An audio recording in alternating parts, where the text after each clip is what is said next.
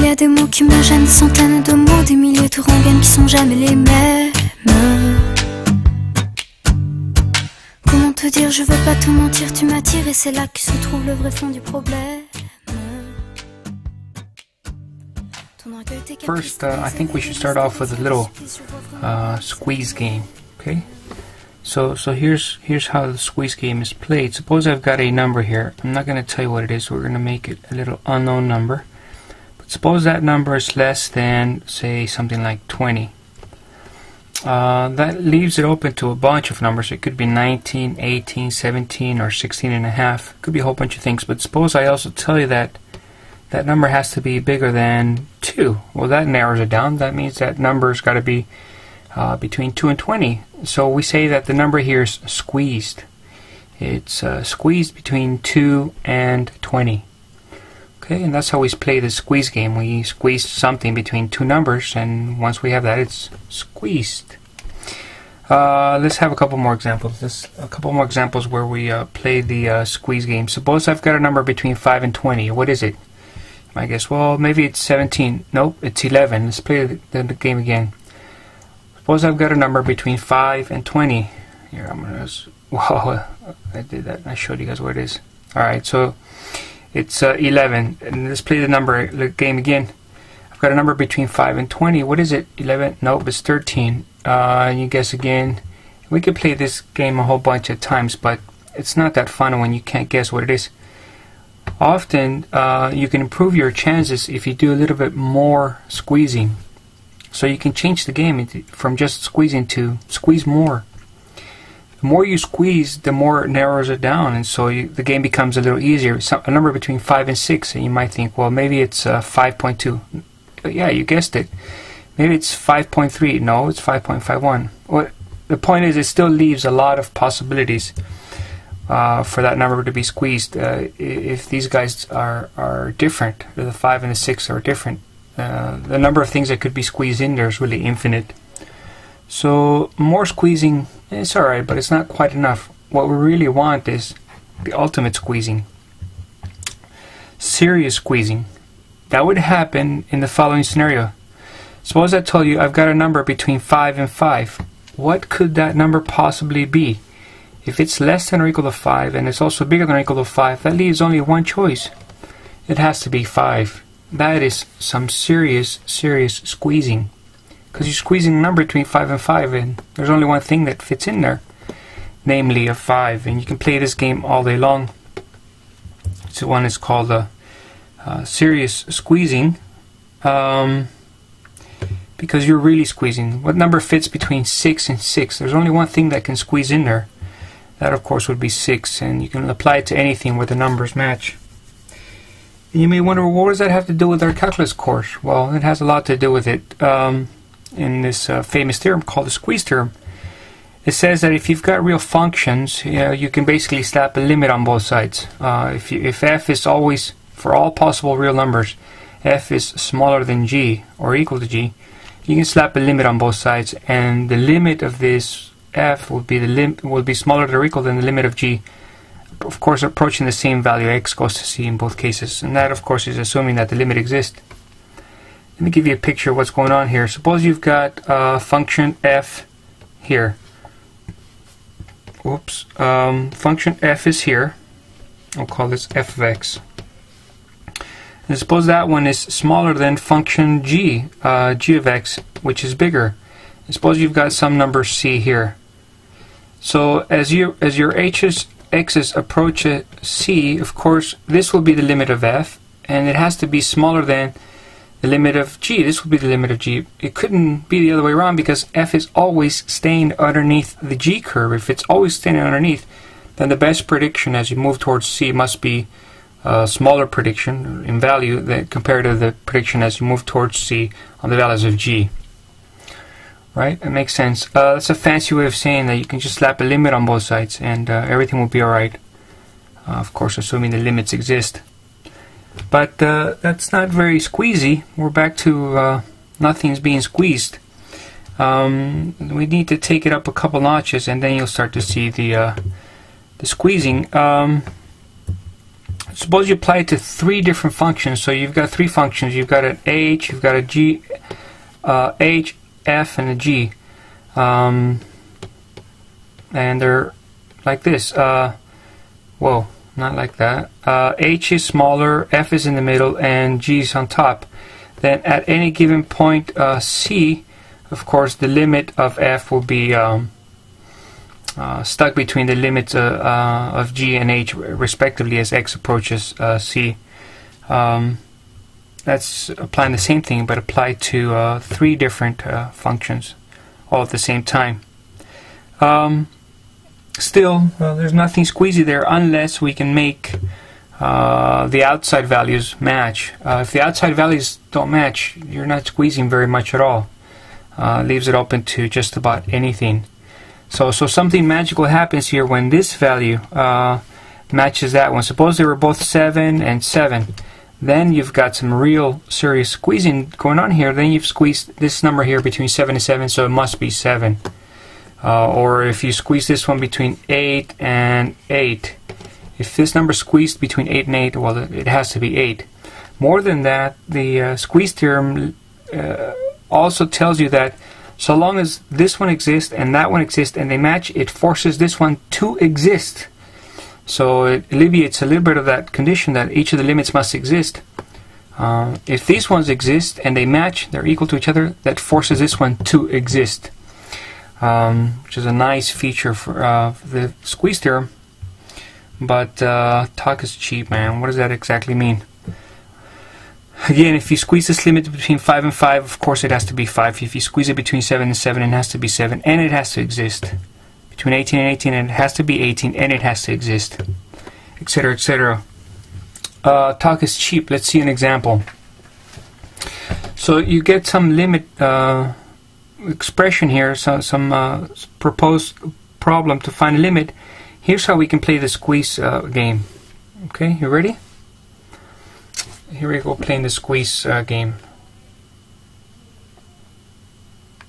So here we go. Let's try an example. Um, suppose you've got some function like this. Uh, 1 over uh, x plus 7 times the square root of x plus 1.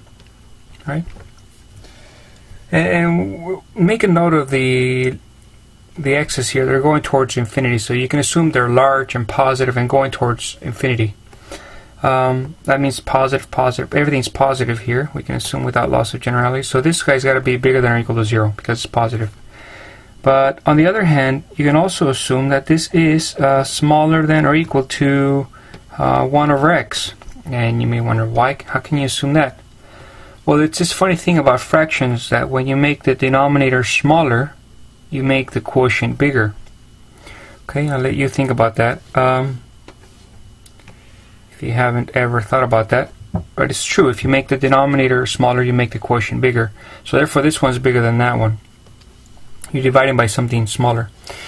Now, uh, let's, do, let's do a little squeeze here. Uh, I'm going to take the limit.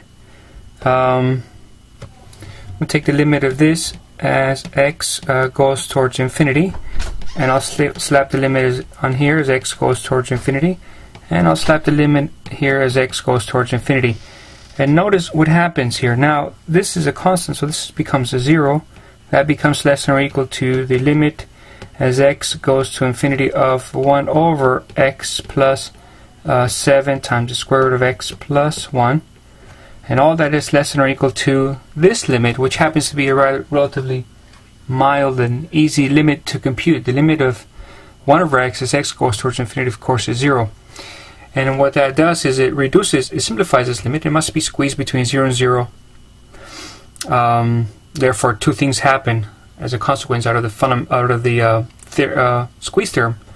One of the things that happens is that this limit must exist, since these match, and of course it must be 0, since it's squeezed between 0 and 0.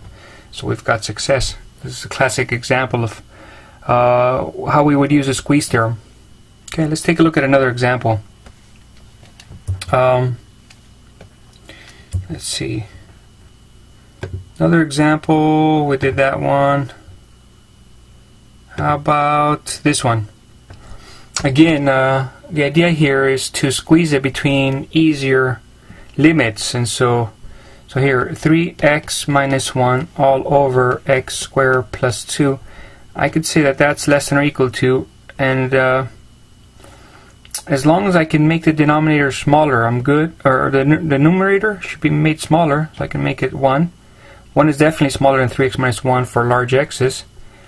And the bottom, I'll just make it x squared, since that's making the denominator smaller, it will make the quotient bigger. And of course, uh, large x's would make this a positive. So there you go. We did it again. Um, whoops, we did it again. Um, we squeezed it between. Uh, let's go with yellow now. Yellow limits as x goes towards infinity. The limits where I'm slapping the limit on everything. Slapping the limit and already smelling success because look what's going to happen here. Uh, this one is going to go to zero, and this one, of course, is a well-known limit. It's going to go to zero and I've got this character here stuck between 0 and 0 with no choice but to exist and to be 0. Yippee Okay. Pretty interesting, huh? Want to see it again? Um, let's have another example. Suppose you've got something like uh, like this. Uh, that's too easy. Too easy. Let's try something like this. Um, and let's go with yellow. So 2 uh, cosine of x plus 5 sine of x all over x. That's got to be less than or equal to uh, 7 over x. Why, you may ask? Well, think about it. This is a cosine, which is a ratio of adjacent to hypotenuse, which can never be 1 or larger than 1 or less than negative 1. So this is number stuck between 2 and negative 2. Similarly, this one's stuck between 5 and negative 5 because the sine is stuck between 1 and negative 1. So the whole thing could never ever hope to be more than or equal to 7 uh, or less than or equal to negative 7 over x. Right? And now we play the uh, the uh, limit game here. Um, take the limit as, uh, we'll go with the white limits as x goes towards infinity on everything. Take the limit as x goes towards infinity. Take the limit as x goes towards infinity. And already we can see this is going somewhere. This is a well-known famous limit. This is equal to 0 and that's less than equal to limit as x goes towards infinity of 2 cosine x plus 5 sine x all over x and that's less than equal to 0 leaving this guy in here with no choice but to exist it must exist and be 0 I told you that's why they pay me. But that's nothing. Uh, those are all pretty uh, uh, silly little squeezings. Um, I think it's time for some beautiful squeezing. Uh, we'll make this our last example here. You guys ready? This be a good coffee break time. Ready if you want to pause it. Um, this is probably the most well-known example. Uh, it's some very, very beautiful squeezing. Let's do it. I'm going to pause this. Just get your break on. Salute. Alright. This is the squeeze theorem um, on its finest hour. So we talked about this limit before on numerous occasions. It's a famous limit. We've been talking about it since the beginning of the course. Here we'll take this opportunity to find the, uh, the limit from the right um, using the squeeze theorem. Don't let it bother you that we're only doing it from the right. You could easily modify these ideas to, to do it from the left and complete the entire uh, both-sided limit. Alright, so here it goes. Talk is cheap. This proof begins with uh, observation about this uh, little wedge. Um, suppose this wedge has angle theta on it, and suppose that this length is 1 and that length is 1. You may wonder well, how much, how big is this area? And you may remember, well, I took a good algebra course and I know that that area is equal to uh, theta over 2 times the radius square. But since the radius is 1, of course, in this case, uh, it's just theta over 2. So, okay, that's no big deal. That's theta over 2. So what? That has nothing to do with the squeeze theorem. Or does it? Then you go on to um, the next idea and you say, well, okay, how does, how does this wedge compare with a corresponding triangle that happened that uh, is constructed by taking these endpoints and joining them. Um, instead of making the arc here, of course, you which do you think would be bigger? The wedge would have a bigger area than the area of the triangle. And uh, and you may wonder, right, it might be it might be a fun exercise to try to find the area of this triangle. Uh, again, this is theta, this is one, this is one, and we find out that this area is theta over two. How about that one? Well, this is one, and as you all know, the area of a triangle is usually base times height divided by 2. And of course the base would be 1. So it's 1. The height would be theta. This would be, um, I don't know, you could call it h. And you get some something like this uh, going on. You get something like this. Uh, sine of theta is equal to h. Uh, uh it's opposite of our hypotenuse. Uh, so h is equal to sine theta. So therefore this would be 1 times uh, sine theta all over 2. Or said differently, it's just uh, sine theta over 2. That would be the area for this triangle. But wait, there's more. What if you compare that uh, with this triangle here? Making a right triangle here, keeping theta here, the base is 1, but extending it so that this is a right triangle. Now, Keep in mind, uh, we said this one is uh, sine theta over 2. This one was theta over 2. And we make it a fun exercise, try to figure out what the area of this one is. Um, well, it's just base times height. So, um, as usual, the area would be base times height divided by 2. And of course, in this case, it would be base is 1. The height would be uh, you could call it h, and this would be the tangent. So the tangent uh, of theta would be h over 1. So it's just tangent theta, of course, all over 2. That would be the area. So this one is uh, tangent theta all over 2. Now, using these three shapes, that inspires us to write the following statement. Uh, well, not that one. It inspires us to write the following statement. It says that, uh, let me see if I give myself some more room uh, sine of theta over 2 is less than or equal to theta over 2 and that's less than or equal to tangent theta over 2. So that puts us at a nice place here, a nice observation here. This area is smaller or equal to that area and that's smaller or equal to that area. Now watch what happens when we clean this up.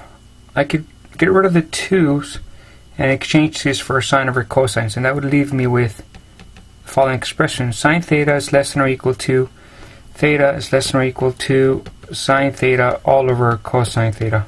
Again, got rid of the 2's just by multiplying everything by 2's. And the sine I exchange it for a sine over, or the tangent I exchange for a sine over cosine. Now keep in mind we're trying to get uh, to this inequality and this doesn't look like it, but again we can just make small little tweaks on it and get there slowly. I'll divide everything by sine and that will give me that 1 is less than or equal to theta over sine theta, and that's less than or equal to 1 over cosine theta. Again, because I'm going from the positive side, I don't have to worry about sine being negative or positive, or I know it's positive from the positive side, maintaining the, the direction of the inequalities. However, I want to flip this. The legal way to flip it would be to just um, invert everything so that, and then I have to change the uh, signs of the inequality uh, in other words, uh, if I flip this fraction, it would be smaller than them, so I would have that cosine theta is less than or equal to sine theta over theta, and that would be less than or equal to 1 over 1. Uh, this is just a fancy way of flipping fractions and changing the sign of the inequality. Well, it's not that fancy, it's just algebra. But again, this is a really nice, uh, nice uh, milestone here. We got this amazing inequality uh, with the thing we want squeezed in between there, squeezed between cosine and 1. Now I'm going to do my slapping here. I'm going to go with uh, the limit as theta goes to 0, again from the positive side. And we'll make that white. And I'll slap the limit here as theta goes to 0 from the positive side. And I'll go here with the limit as x or theta goes to 0 from the positive side. And observe what happens here. The limit for cosine As theta goes to 0, well, there's nothing there. You just plug it in, of course, that this is 1. And that's less than or equal to the limit as theta goes to 0 from the positive side of sine theta over theta, and that's less than or equal to 1. And voila, success. What we've done here is uh, we've shown that um, that this guy must exist, first of all. It's got no choice to exist, and it's got no choice but to be squeezed between 1 and negative 1, uh, with the uh, inevitable conclusion that uh, that limit is equal to 1. I told you.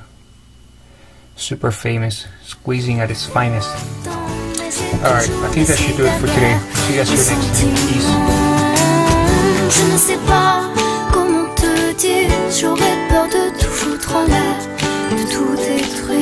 Tas d'idées à mettre au clair. Depuis longtemps, mais j'ai toujours laissé derrière mes sentiments.